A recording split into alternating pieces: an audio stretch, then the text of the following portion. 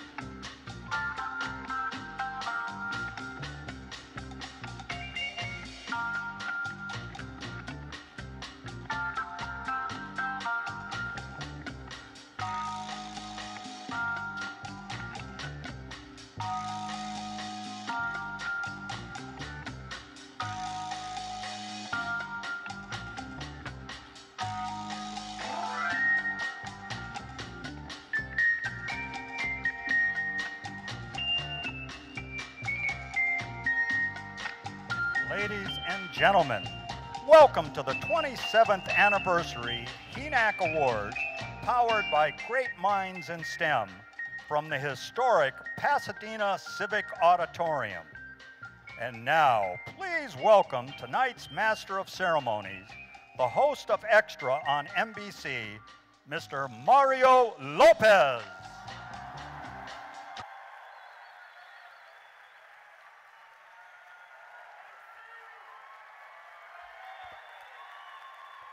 Evening, everyone. Good evening. It's great to be here and welcome uh, officially to the 27th annual HENAAC Awards powered by Great Minds in STEM.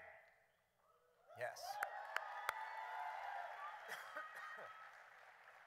they were shoveling food down right there, so I got a little bit. Pardon me. Uh, I'm, I'm thrilled to be here tonight. I'm learning so much and I'm so happy, and, and um, it's fantastic to be uh, amongst uh, so many talented, uh, intelligent individuals. And, and um, uh, here at the Pasadena Civic Auditorium, of course, and we're going to be honoring and celebrating the world class achievements of Hispanics in science, technology, engineering, and math. The theme for the 2015 HENAAC Awards and for the entire four day conference is Ignite and Inspire. Now, the Ignite part of this equation is a tribute to Pasadena in Southern California, uh, a region home to iconic institutions like NASA's Jet Propulsion Laboratory, the Rose Parade, which happened right here in Pasadena, and of course, uh, Hollywood, and Disneyland, which is Orange County, but that's okay. Excuse me. Now, whether we're talking about advances in technology that have, that have taken us to the moon, to Mars, and beyond, or the creat- creativity and innovation of our entertainment industry, these institutions have been igniting imaginations all around the world for decades upon decades. Tonight, though, is about the inspire side of the equation. And as you'll see throughout the evening, the excellence represented by the 2015 HENAAC Award winners is truly inspirational. And I want to say that again the excellence of the HENAAC Award winners is what's inspirational.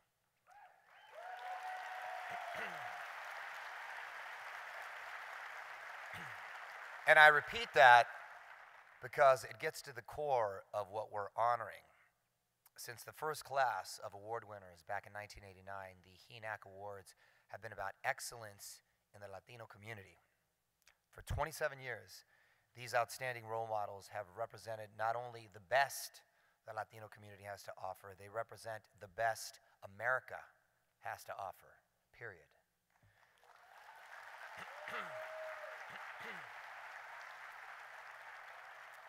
And if you've been paying any attention to the news media at all the past few months, you know, of course, that the 2016 presidential election is in full swing.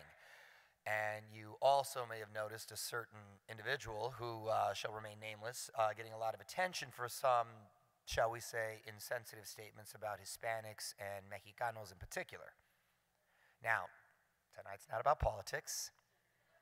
We all have our own opinions, and I'm sure we're all going to be dealing with issues like this in our own way over the next year. But tonight is a chance to respond not by protesting or by boycotting or shouting down people who share this particular opinion. Tonight, we have a chance to actually show America what we're capable of as a community. It's about highlighting.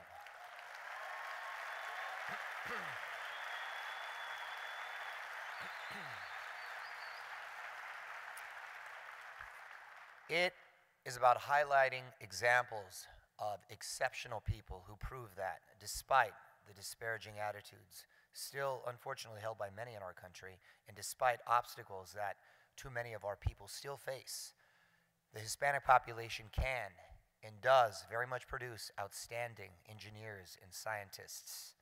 And it's about the STEM community of all races and political stripes standing up proudly as one to say, America, hey, these are our best, and these are your best, and they are world class.